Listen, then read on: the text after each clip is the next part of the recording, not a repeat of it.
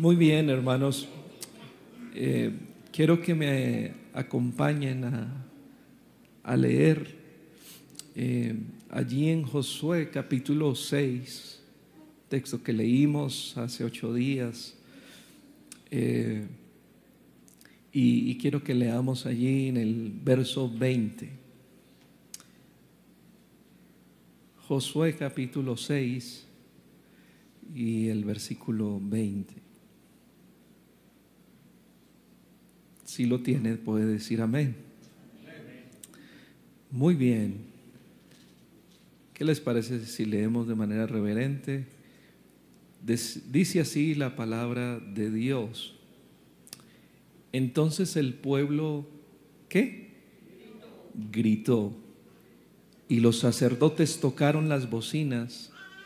Y aconteció que cuando el pueblo hubo oído el sonido de la bocina, gritó, ¿cómo?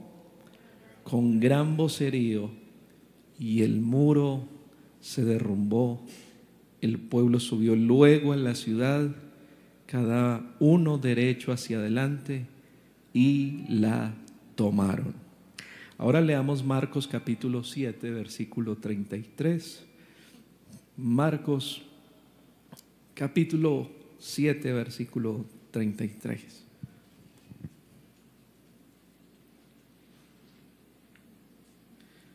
Muy bien.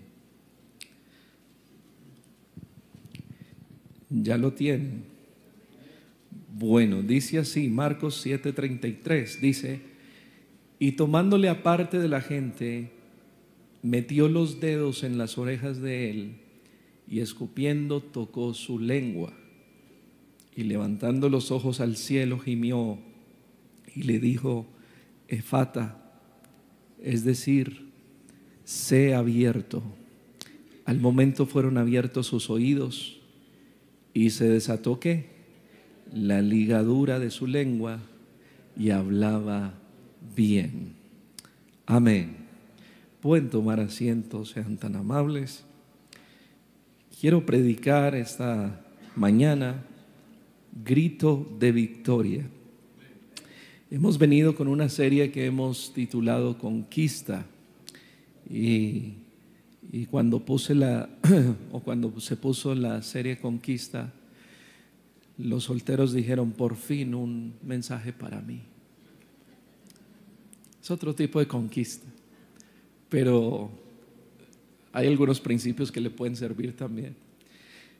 Eh, pero eh, hablamos sobre la transición del pueblo de Israel para llegar a la tierra prometida la que el Señor les prometió que fluiría leche y miel, que sería la tierra donde por fin se llamarían pueblo, un pueblo independiente, ya no subyugado bajo una esclavitud egipcia, sino que tendrían eh, su propio terreno, su propio pueblo donde se repartiría según las tribus y donde el pueblo de Israel al menos ya tendría eh, como dije, esa independencia, ya serían pueblo como tal, y esa promesa se iba a cumplir, que esa fue la promesa que Dios le hizo a Abraham y a Isaac y Jacob. Y, y esa transición no fue nada fácil, fue una transición difícil porque estuvieron en el desierto 40 años dando vueltas y, y por fin Dios les dice eh, la manera como deben ellos cruzar. Eh, ellos envían espías y, lo que ustedes ya, ya hemos escuchado, de que ah, llegaron la mayoría de los espías, en total de los 12, 10 hablaron mal y solo dos eh, fueron positivos. Y, luego hubo una travesía para cruzar el, el Jordán y una de las tribus o dos tribus y media dijeron, no, no nos hagas pasar el Jordán, pasen ustedes. Eh, así que pasaron por varias vicisitudes antes de llegar a la tierra y, y ya se les atraviesa también Jericó, que era una ciudad amurallada con muros firmes y sólidos. Y allí cuando se enfrentan también a, a esto que era Jericó, pues Dios también les da la estrategia para que se derrumbaran esos muros. Paradójicamente Dios no les dice, mire, derriben los muros con, eh, con instrumentos de guerra o, qué sé yo, catapultas o, otro artefacto para poderlas destruir. En este caso el Señor solamente les dijo, rodeen eh, a Jericó, rodeen los muros una vez por cada día durante siete días y al séptimo día lo van a rodear siete veces. En total dieron trece vueltas a Jericó. Y, y lo llamativo de esto fue que estos muros se derrumbaron cuando el pueblo gritó. Y quiero hablar un poquito de esto del grito, ¿no?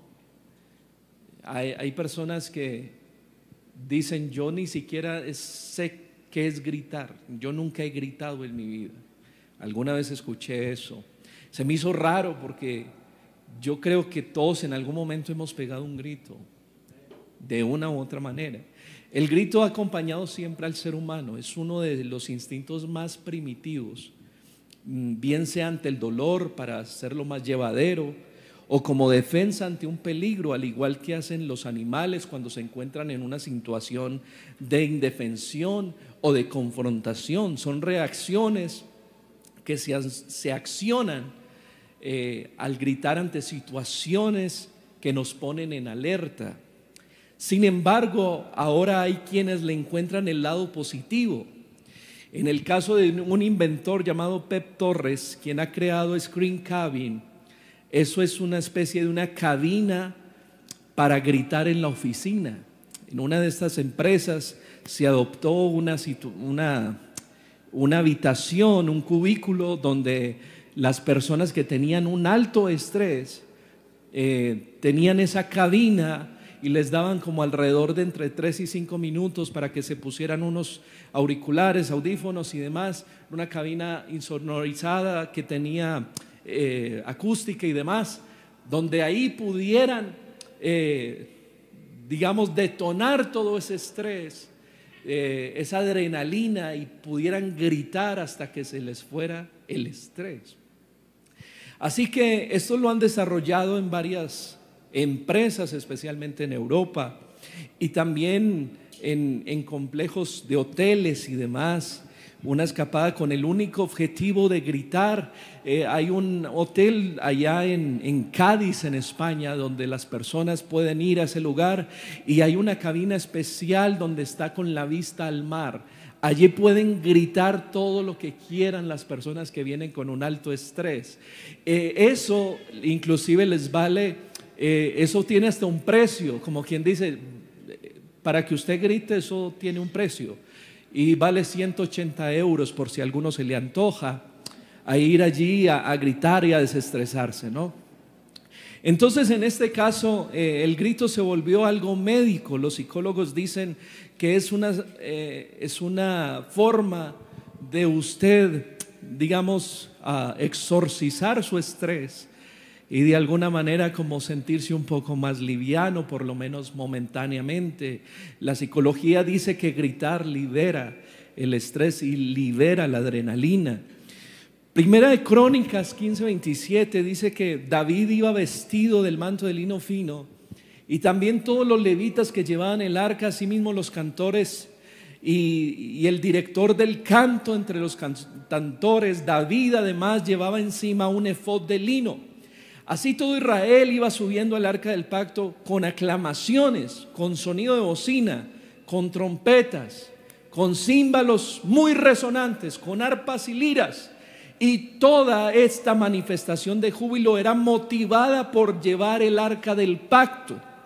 Escuche esto. En donde según enseñan las escrituras estaba manifestada la presencia de Jehová evidencia que todos estos hechos eran vinculantes a un acontecimiento de guerra. Cada vez que el pueblo se encontraba en situación de guerra, ellos no iban como quien dice con una cara sensible o romántica. Ellos iban como animales feroces a ir a la guerra. Ellos iban determinados a conquistar lo que Dios les había dado. Y como fórmula o estrategia militar, igual que ocurrió con Jericó, dice la Biblia, y aconteció que en cuanto el arca del pacto del Señor entró en el campamento, todo Israel gritó con gran voz y la tierra empezó a temblar. Al oír los filisteos el ruido y el clamor de los israelitas, dijeron, ¿qué ruido es ese? ¿Qué significa todo esto? Entonces comprendieron que el arca estaba en medio del pueblo de Israel y temieron con gran temor porque dijeron, ese es el Dios que abre mares. Ese es el Dios que hace milagros y prodigios y delante de Él tiembla toda la tierra. Entonces, el grito, especialmente que tiene el sentido muy, muy importante, ¿qué sentido tiene este grito, el grito de júbilo, el grito de guerra? Definamos primero el término. El término grito significa sonido inarticulado. Es decir, es una, es, es una expresión poco protocolaria. Es muy, vamos a decirlo así, muy del vulgo. Una persona que grita, que se le escucha gritar, parece que es a veces indeseable ¿Cuántos han ido alguna vez al estadio? Yo sé que aquí son muy consagrados y nunca van al estadio. Cuando usted va al estadio hay algo que la gente ya llama el grito sagrado, que es el grito del gol. Cuando, el cuando hace su equipo su gol, usted no dice, ve gol. No, si es su equipo, si es Colombia, vamos a decir, es una final, es qué sé yo, es un partido importante. Usted se olvida del protocolo, del glamour, de la etiqueta, usted se olvida de quién está al lado y usted dice gol, porque es su equipo, sobre todo cuando lo hace nacional. Millonarios no. Es con amor, hermano. con amor. Lo que quiero decir es que nosotros somos seres emocionales y a veces creemos que somos robots.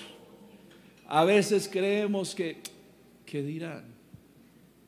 Y si pego un grito aquí de gloria a Dios, no, donde no le luce a mi corbata.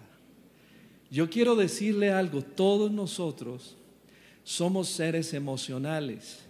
En algún momento de la vida hemos gritado de dolor, hemos gritado por pasión, hemos gritado por emoción, hemos gritado por alegría, hemos gritado en una manifestación de enojo, porque somos emocionales, Dios nos hizo así. Y esto que es un sonido inarticulado, palabra o expresión proferidos con fuerza y violencia, manifestación vehemente de un sentimiento. Como bien dice esta definición, el grito obedece a un sentimiento que puede ser por miedo o alegría, como decíamos. Y también la otra palabra que debemos definir es el júbilo, la cual deriva del jubileo, que era una fiesta judía que se celebraba cada 50 años. ¿Sabe cómo iba la gente al jubileo? No iban a decir, shalom, paz de Cristo. Vamos a cantar al Señor en esta reunión, Cristo. Ellos no iban a cantar así, Esa gente salía alborotada, gritando por las calles, las mujeres danzando. Era una fiesta, la fiesta del jubileo. Y yo no sé por qué a veces nos coge a nosotros ciertos modismos, ciertos formalismos en donde cuando llegamos a la iglesia pensamos que todo es, vamos a adorar, vamos a cantar, vamos a ver si nos da el tiempo. Como cuando usted iba a esas fiestas, usted decía hasta las seis de la mañana. Y hasta el tapete quedaba vuelto nada porque usted zapateó toda la noche. ¿Cómo nosotros sí hacíamos eso? ¿Cómo si no, no nos importaba nada? Y hoy en día empezamos a tener ciertos recaudos ciertas, nos reprimimos ciertas cosas. Hermano, recordemos una cosa, cuando el, arca del pacto se encontraba en medio de Israel, el pueblo gritaba. ¿Sabe por qué decían? Decían porque Dios está con nosotros. Dios pelea por nosotros. Hermano, quiero decirle y darle buenas nuevas esta mañana. El Señor está aquí. Otra vez, a ver si alguien lo puede escuchar. El Señor está aquí. Alguien puede gritar aleluya. Uh, él está aquí. Y en esto cabe lo siguiente. Hay una palabra que la gente dice que cuando el pueblo de Israel se encontraba en un éxtasis de adoración, ellos pronunciaban una alabanza que que hoy en día se conoce en cualquier idioma y que se puede eh, deletrear o que se puede inclusive pronunciar de cualquier, en cualquier idioma de la misma manera. Y es ese término aleluya. Nosotros lo decimos aleluya, pero allá en otros países, en el Medio Oriente, aleluya. Y esa palabra lo, lo, que quiere decir, quiere decir tres cosas muy interesantes. Una de ellas es que es una alabanza exponencial. Quiere decir que cuando tú dices aleluya, tú no estás diciendo una vez Dios es bueno, gloria a Dios, alabado sea el Señor. Estás diciéndolo a elevado en la potencia, que quiere decir mil veces mi Dios sea alabado. Eh, por eso dice el salmista, no alabarán los muertos a Jehová, ni cuantos descienden al silencio. Eso quiere decir que el que no alabe a Dios está muerto. Uy, yo dije eso. Eso salió de mi boca. Sí, Señor, el que no alabe a Dios es porque ha descendido al Seol. Pero dice la Biblia, pero nosotros bendeciremos a Jehová eternamente y para siempre. Aleluya. Aleluya. Y allá el salmista también dijo, todo lo que respire. Yo quiero saber cuántos están respirando esta mañana. ¿Cuántos pueden? Oh, hermano, hace dos años estaba con COVID pegado ahí al oxígeno. No podía respirar. Si me quitaba eso, me ahogaba y me empezaba a desmayar porque no tenía respiración, no podía cantar, no podía ah, orar, no podía hablar. Tenía que quedarme callado a ver con el poquito oxígeno que tenía. Pero en mi corazón decía, Señor, tan solo un poco de aire para decirte que tú eres bueno, que no hay nadie como tú. Hermano si usted está respirando, usted debe alabar a Dios. Aleluya. Aleluya tiene un significado especial que quiere decir la victoria es mía. Oh, aleluya. Mire, había un profeta en Israel que él vio como eh, los enemigos se llevaban sus vacas, se llevaban sus ganados, se llevaban sus mujeres, las violaban, violaban a sus hijos, se los llevaban como esclavos para que hicieran trabajo forzado. Y, cuando el, profeta ve toda esa desolación, ve el humo que subía por las ah, casas cuando las quemaban y cuando veía todo ese desierto, todo ese desazón, dice él y eleva estas palabras aunque la higuera no florezca y aunque facte el producto del olivo, aunque los labrados no den mantenimiento y aunque las ovejas sean quitadas de la majada y no haya vacas en los corrales, con todo, aleluya, yo me alegraré Jehová y me gozaré en el Dios de mi salvación. Jehová el Señor es mi fortaleza, el cual hace mis pies como de siervas y en mis alturas me hace andar. Yo quiero decirle que tú y yo no estamos en derrota. Tal vez le estoy hablando a alguien, no, tal vez no, estoy seguro que le estoy hablando a alguien que está pasando por momentos difíciles y dice, ¿por qué nos está pasando todo esto? Yo quiero decirle que ahí es donde tenemos que decir aleluya ¿Sabe por qué? Porque esa batalla que estás librando, el Señor también la pelea por nosotros. Hermano, yo quiero decirle, la victoria es nuestra. Aleluya.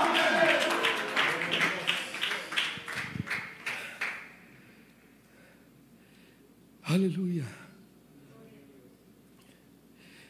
¿Será que alguien puede decir ahí y empiece a visualizar su desierto, sus momentos de congoja, sus momentos de dolor y decir, aleluya, aleluya.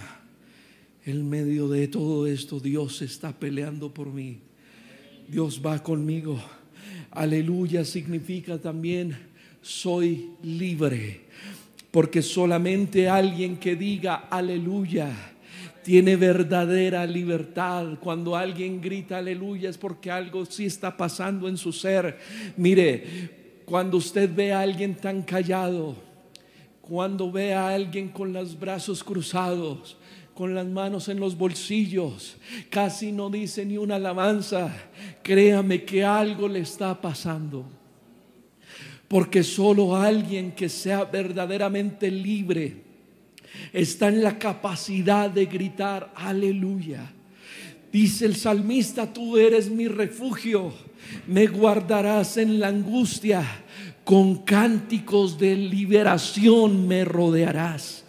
Y mire, aquí hay algo bien interesante.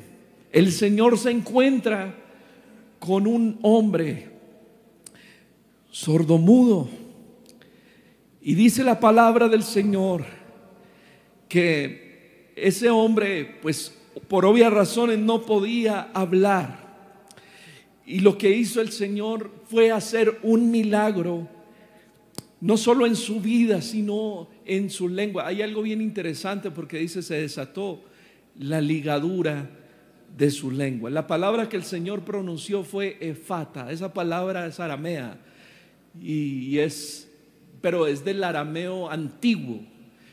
Y esa palabra significa sé abierto, sé libre. Esa palabra el Señor se la pronunció no solamente porque ese hombre necesitaba una sanidad, él necesitaba una liberación. Y en este caso, Muchos eh, psicólogos han dicho que el primer síntoma de una persona en depresión, que una persona con esquizofrenia, que una persona con problemas mentales o con problemas emocionales, su primer síntoma es el aislamiento y el silencio. ¿Qué te pasa? Nada. ¿Estás bien? Hey ¿Quieres ir a comer?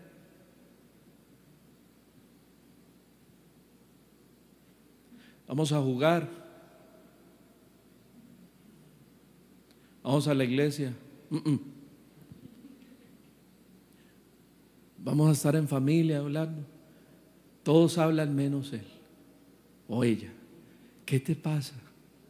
Dinos algo. Nada. Déjeme, yo estoy bien. Eso es un síntoma de que hay un problema, porque Dios nos hizo a todos con una facultad bien especial y es el poder de la comunicación. Todos estamos calificados para comunicar.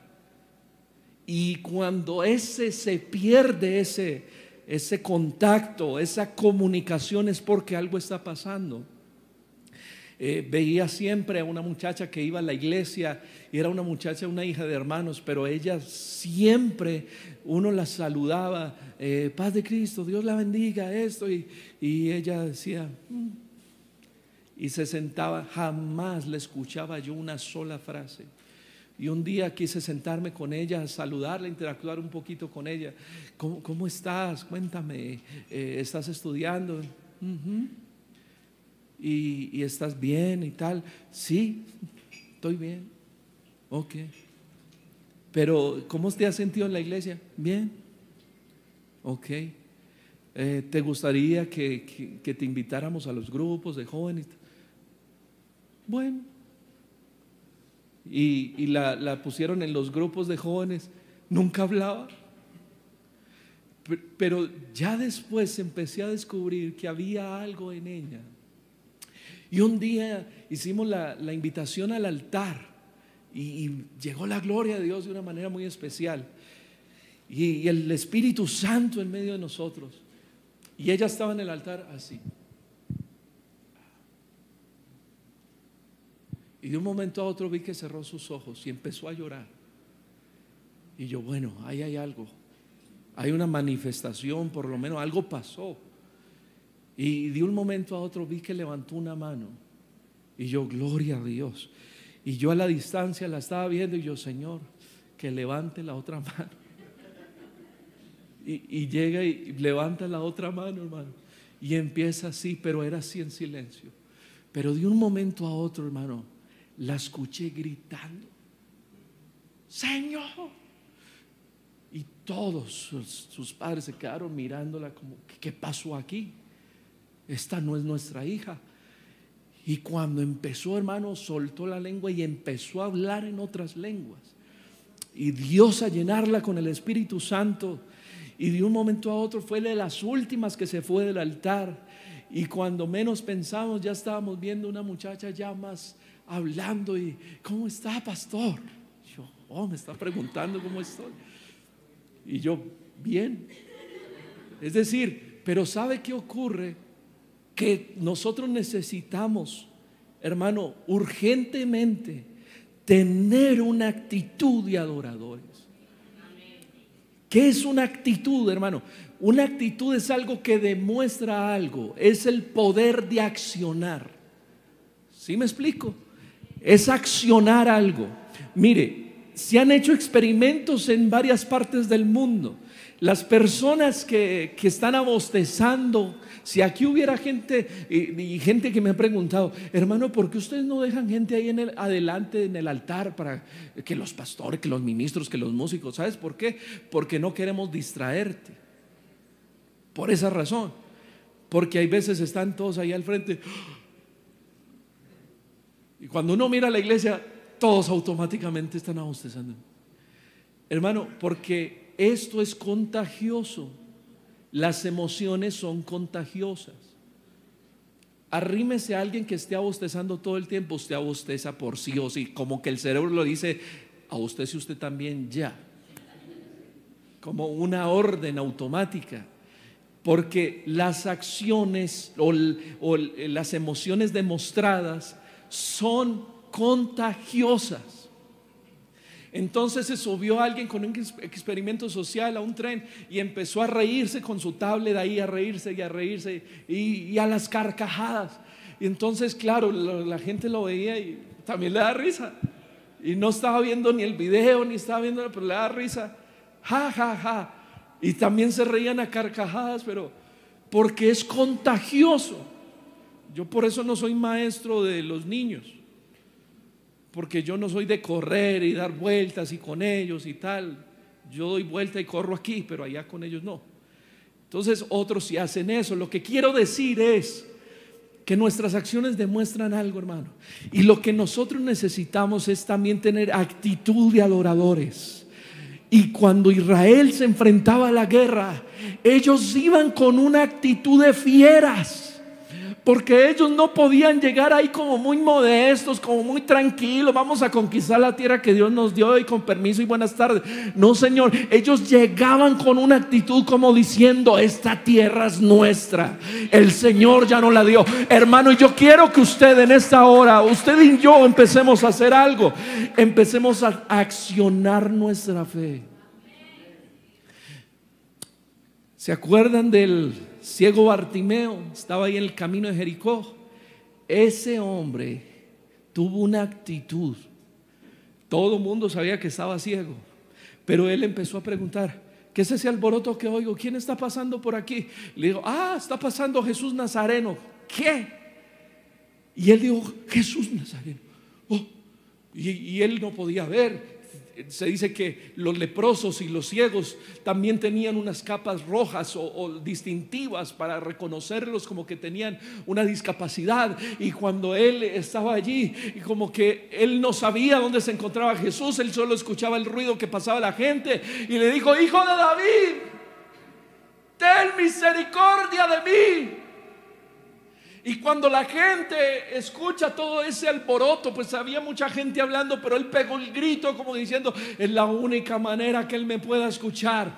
Y todos estaban ahí como y empezaron a reprenderlo, a decirle, cállate, estás muy alborotado, cállate, bájale a la voz, deja de ser así, no respetas al maestro. Y él dice la Biblia que antes gritó más fuerte. Hermano, yo quiero decirle que cuando se trata de accionar la fe, la fe no es un sentimiento. La fe es una actitud. Yo no puedo dejarme llevar de sentimientos. Hay gente que dice, ¿recibiste el Espíritu Santo? Sí, confírmalo. ¿Se acuerdan? Recibió el Espíritu Santo, dígale al Señor que lo confirme. Para todo pedimos confirmación de Dios. Señor, si, si es tu voluntad servir, confírmame. Señor, si es tu voluntad dar una ofrenda, buena ofrenda hoy, confírmame. ¿Por qué para las cosas de Dios hay que pedir confirmación? Pero las, para las cosas cotidianas de la vida no pedimos confirmación. Cuando estás comiendo en tus alimentos, no dices, Señor, confírmame si esta comida es real o no. Señor, confírmame si me tengo que bañar hoy o no. Simplemente son cosas que tú ya sabes que se dan por sentado. Y en este caso la fe tiene que funcionar así. Las cosas que no vemos como si ya existieran. Me estoy explicando, hermano. llegó la mujer, Marta, y le dijo, Señor, ya, ya. Y el Señor te dicho, no te he dicho que si crees verás la gloria de Dios. Hermano, ¿cuántos creen de verdad que pronto, pronto esta iglesia va a tener un lugar donde nos vamos a... Yo quiero saber si alguien lo cree. Yo quiero saber si vamos a tener una fecha de bautismos pronto y donde vamos a tener una cosecha de bautismos en el nombre del Señor. Hermano, usted no dice, vamos a ver si llega la gente. No, Señor, vamos por ellos porque el Señor ya no los dio. Hermano, si Dios ya no los dio, vamos a pisar la tierra que Él nos dio. Es decir, la fe no se mueve por sentimientos, la fe se mueve por el creer. Yo tengo que creer antes de ver las cosas. Si el Señor, yo siento eso en el Señor, en mi corazón he sentido eso. El Señor como diciéndome cuando veníamos en el avión para aterrizar aquí en Medellín y el Señor me decía, ya te di este lugar, ahora ve por él. Así, hermano. Y, yo no sé si usted lo cree conmigo, no, no lo sé. Pero si hay uno o dos que crean esto conmigo, hermanos, yo los voy a invitar para que empecemos nosotros a abrir nuestras casas, a hacer células, a orar, a llevar el Evangelio, a compartir la palabra. Y el Señor me dijo, mira, va a venir tanto pueblo para el poblado que te voy a dejar que empieces tú a apartar gente al ministerio porque van a ser falta líderes y pastores. Hermano, Dios tiene todo bajo control. Yo no sé si hay alguien que puede gritar aleluya esta mañana y que crea con todo su corazón que Dios lo puede hacer. Aleluya. Y allá estaba ese hombre, hijo de David. Ten misericordia y puedo imaginar su desespero. Aleluya. Era su única oportunidad. Era su única esperanza. Y su única esperanza no la podía ver. Solo podía de alguna manera saberlo porque se lo habían dicho. Y cuando dice que al segundo grito el Señor se detiene. Y ya me dice, ¿quién, ¿quién me llama? Pues ese ciego que está allá. Tráiganmelo. Y, y sabe que necesitamos nosotros tener una actitud que haga detener a Dios. Una actitud que haga detener la misericordia de Dios. Porque a veces hacemos oraciones muy vacías, muy planas, muy simples, muy monótonas, muy religiosas, muy litúrgicas. Y Dios está esperando que tengamos una actitud diferente hacia Él, que realmente nosotros necesitemos, tengamos una sed insaciable de su presencia, que digamos, Señor, es que realmente sí te necesitamos mucho. ¿Y sabe por qué? Porque ese hombre demostró que si el Señor no lo sanaba, eh, que si el Señor no iba donde él y sería ciego toda la vida. Y yo quiero decirle que hay gente que se ha perdido de bendiciones de Dios porque no han tenido una verdadera actitud para buscarlo. Oh, yo dije eso. Hay gente que se ha perdido de cosas muy grandes porque no tienen actitud. Yo le voy a decir esto, si el pueblo de Israel no hubiera tenido la actitud de dar esas trece vueltas, usted imagina que le digan a uno, vea, denle 13 vueltas al poblado y yo le doy ese, les doy ese sector. Yo sé que muchos dicen, oigan a este. ¿O no? ¿O no? Ah, démosle la vuelta al Sheraton, ya, 13 vueltas. ¿Sabe qué dicen algunos? Oigan a este emocionalista. Oigan a este. ¿Qué, está pensando? ¿Que somos qué o qué? Títeres pues. Entonces vamos a... Hermano, esa gente tenía una actitud de fe. Y empezaron a recorrer. Y les dice Josué, y les dice, y cuando toquen las bocinas y cuando toquen los instrumentos, vamos a gritar. Y todo el pueblo listo para que recibieran la orden para dar el grito. Ustedes saben cuánto tiempo estaban teniendo ese grito retenido. Ahí, hermano, esperando cuando les da la orden Josué. Gritan de tal manera. que gritaron? No sé. El tema no es el grito, es la actitud. Es una fe en acción. Eso es lo que quiero decir. No estoy diciendo que aquí el grito sana, no, no estoy diciendo eso. No estoy diciendo que el que más brinque más bendición va a recibir. No, estoy diciendo que nuestras emociones tienen que reflejar una verdadera actitud. El, el salmista dijo, bendice alma mía a Jehová y bendiga todo mi ser. El ser está compuesto de alma, espíritu y cuerpo. Hay gente que adora a Dios solo en el alma y en el espíritu y está bien, pero tú tienes que adorar a Dios también en el cuerpo. Yo no sé cuántos tienen manos aquí esta mañana, yo no sé cuántos tienen voces esta mañana, yo no sé cuántos tienen un corazón para adorar. Aleluya. Alabado sea el nombre del Señor. Ya voy a ir a terminar. Pero escucha esto bien, que esto es bien bonito, hermanos. Mire, llega el Señor y le dice, ve al ciego, ¿qué quieres? Que recobre la vista. Era su única consigna, recobrar la vista, recibir la vista. Y el Señor compadecido y por su misericordia y por la fe de ese hombre. Yo le digo, si ese hombre se hubiera callado cuando le dijeron que se callara, tal vez no hubiera recibido nada. ¿Sí me estoy explicando? Pero ese hombre tuvo una actitud a tal modo que él gritó otra vez y el Señor le dice, tráigame, lo sana, hermano.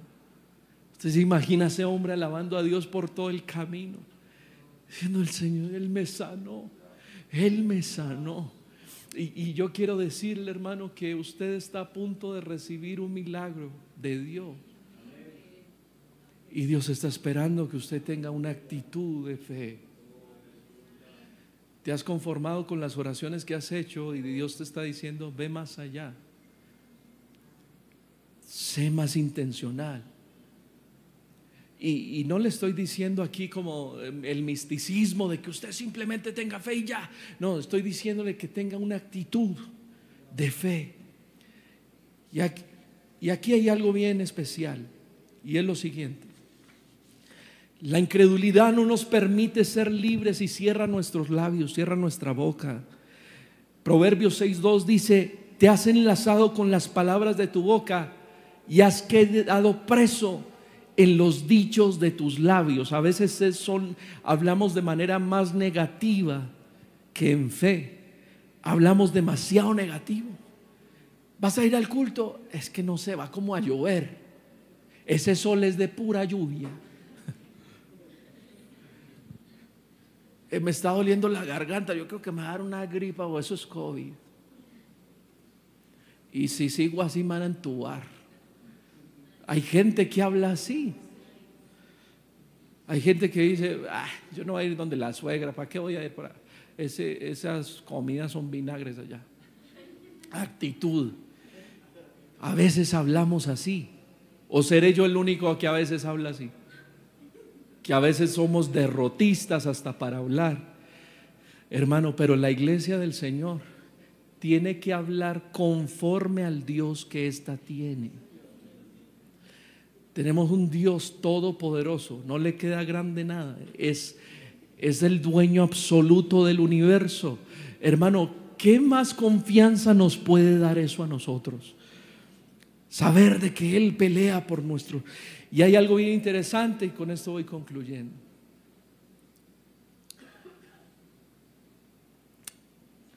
El Señor mismo proclamó una palabra de victoria en uno de los sucesos más impresionantes que ha vivido la historia de la humanidad. Una de las palabras finales de Jesús en el Calvario fue ese fatídico día cuando le crucificaban y él pronuncia la siguiente palabra, consumado es. Que algunos creen que fue como un gemido de derrota, porque dijeron como, aquí se acabó todo, aquí hemos terminado todo. En tanto otros afirmaban que él estaba sellando el fracaso de toda su misión salvífica que no pudo completar Así que pudo decir solamente consumado es. Consumado es no es un grito de frustración. Que alguien pudiera enfrente la posibilidad de no haber cumplido lo que se había propuesto lograr. Consumado es el sello del triunfo que se realizó en la cruz del Calvario por el Señor Jesucristo. Y para que entendamos lo que esta palabra significa, esta palabra en el griego se traduce tetalestei o tetelestai, que era la palabra que usaban los comerciantes cuando una deuda quedaba saldada. Cuando los comerciantes finalizaban su, su negocio, ellos terminaban con esta palabra, tetelestai, que quiere decir, la deuda ha sido cancelada, todo está pagado, usted no debe nada. Al exclamar de esta manera, Jesús estaba diciendo que toda nuestra deuda,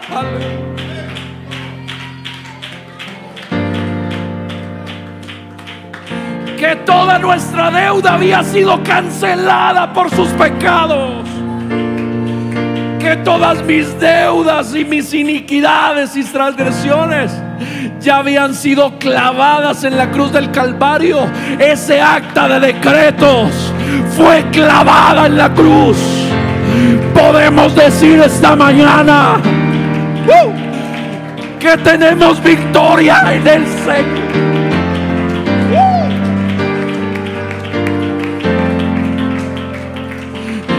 Yo quiero decirle, tú no eres un derrotado, tú eres un victorioso. Aleluya. Hermano, pero mi victoria ¿qué es? Eres libre del pecado, eres libre de la muerte, eres libre de la contaminación, eres libre de la condenación, eres libre de enfermedad, eres libre.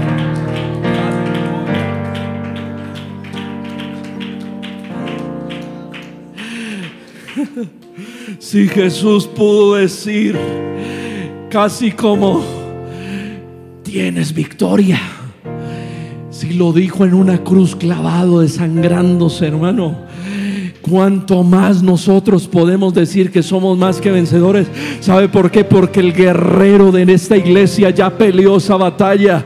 Hermano, podemos decir que las batallas que estás librando ahora, hay victoria en el nombre del Señor Jesucristo. No tenemos en esta cuenta ya, ya ha sido saldada. Y dice la Biblia que el Señor exhibió públicamente a todos los principados y a todas las potestades, a todo el infierno lo expuso allá en la cruz. ¿Sabe para qué? Para decirle a la iglesia, tú tienes victoria en mi nombre. A ver, algún victorioso en esta mañana. Yo quiero saber si hay una actitud de victoria esta mañana. A ver si alguien se puede colocar en pie de esa silla y darle un aplauso al que reina, al que vive, al que es vencedor.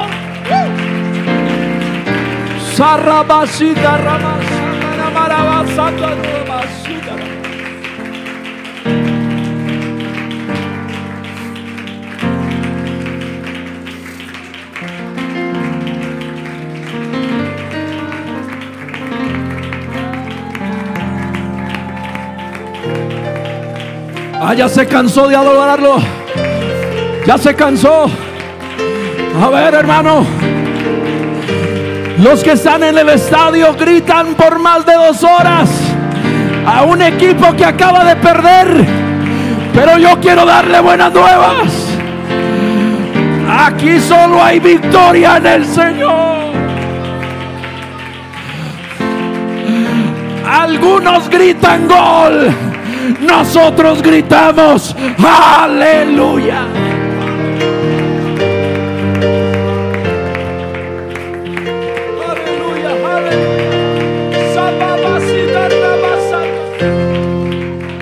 Alguien que lo aplauda con fuerza en esta mañana. Alguien que deje que la presencia de Dios lo llene.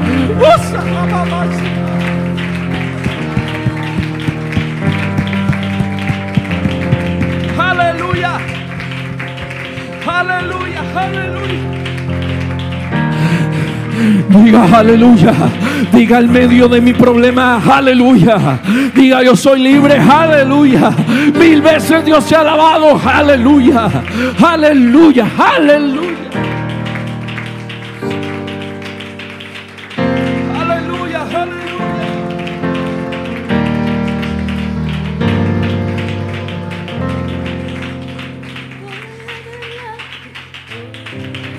Aleluya. Aleluya. Alabado sea el nombre del Señor. Cuando mi hijo tenía tres años y medio, Samuel, estábamos empezando una obra. Y ya saben que los niños juegan, corren por ahí. Y él, él se cayó ahí en el baño y cuando fuimos y, miré su rodilla, su rodilla estaba torcida, esta rótula estaba hacia el otro lado. Y, la angustia que sentimos en ese momento fue eh, la, la sola sensación de verlo como estaba. Y lo llevamos a la cama y él estaba pálido, estaba a punto de desmayarse. Y mi esposa dice, llamemos a una ambulancia, llamemos a alguna parte, no sé, llamemos, hagamos algo. Y yo estaba ya pasando por el umbral de la puerta de la habitación y ya estaba a punto de llamar a ver quién me ayudaba a llevar al niño al hospital. Y me habló el Espíritu Santo.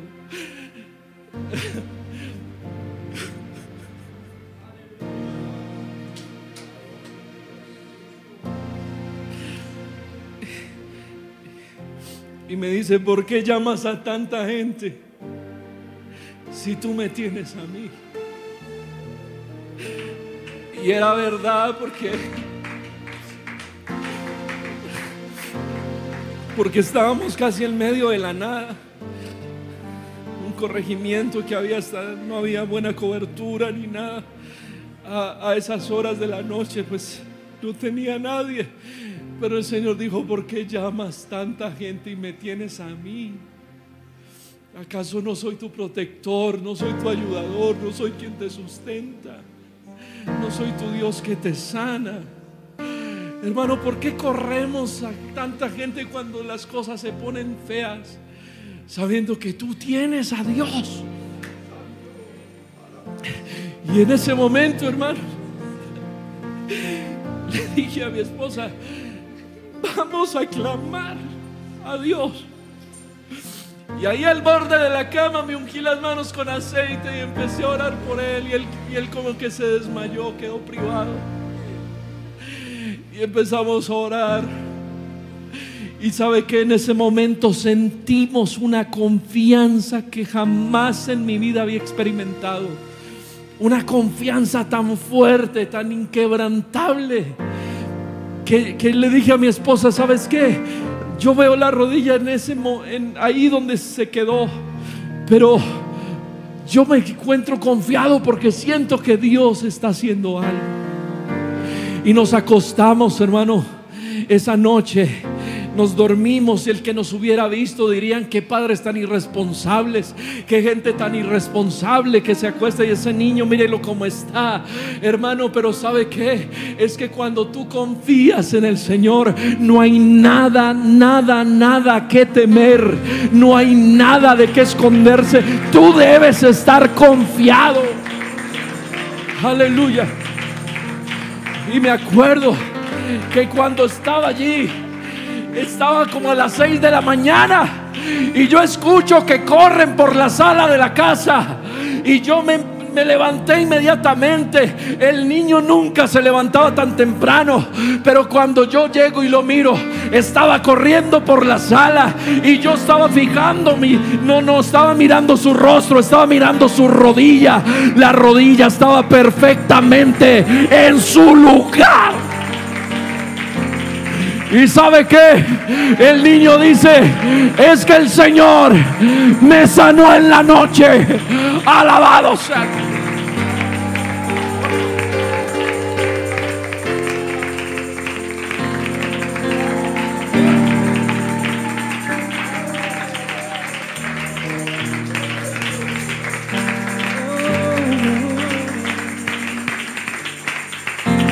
Aleluya.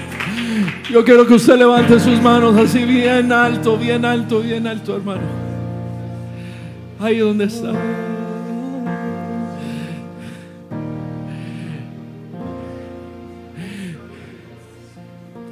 El Señor está esperando tu clamor. Un verdadero clamor.